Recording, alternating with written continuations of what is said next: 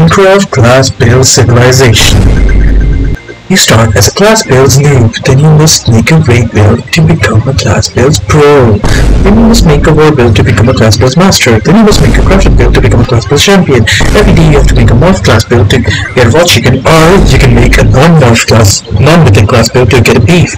But no one does that. If you make a bad class build, you fall into the class build's prison. Uh, into the class build's prison, you have to make